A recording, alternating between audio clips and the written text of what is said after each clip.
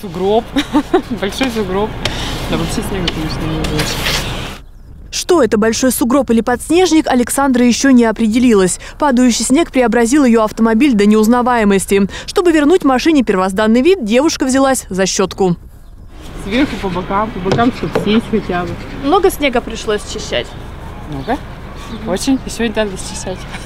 Остается, но низко, поэтому не дочистить, похоже. А вот Максим даже щетку из багажника достать не может. За ночь дверь его машины примерзла основательно.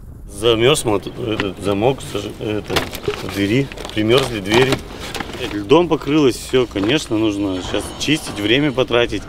Последний удар зимы застал горожан врасплох. За сутки в городе выпала полумесячная норма осадков. На дорогах в часы пик десятибальные пробки. В основном люди стоят из-за аварии. Чтобы не рисковать здоровьем свердловчан, ГИБДД даже пришлось приостановить движение нескольких автобусов. Например, в Березовский. Поэтому многие горожане оказались в поистине безвыходной ситуации. Тяжело, застревают ноги. Тяжело по дороге. Там, потому что такая... Много снега, оно вот такое, как бы няша. Во дворе тяжело было пройти, да. Во дворе, около дома, там тяжело было пройти, да. Ветер сильный, да, ветер сильный. Это, знаете, я жила в Молдавии, у нас там называется «Баба Евдоха трясет шубой». Вот чучело сожгли, когда, и вот она начинает злиться в конце зимы, начинает вот этим снегопадом трясти шубу. Это еще несколько дней продлится. Тряска осложнила жизнь на земле и в воздухе. Как сообщили в Кольцово, из-за плохих метеоусловий на запасные аэродромы ушли четыре самолета. Сейчас аэропорт работает без ограничений. Но чего это стоит уборщикам, им одним известно. В городе спецтехника не летает, но, по словам властей, работает в усиленном режиме. За сутки с местных дорог было вывезено больше 8,5 тысяч тонн снега. Первоочередная задача, которая сейчас стоит перед службами благоустройства – освободить проезжую часть дорог от рыхлого снега и тем самым обеспечить проезд и безопасные условия для движения транспорта. Но наводить порядок коммунальщикам непросто. На один участок приходится тратить несколько часов.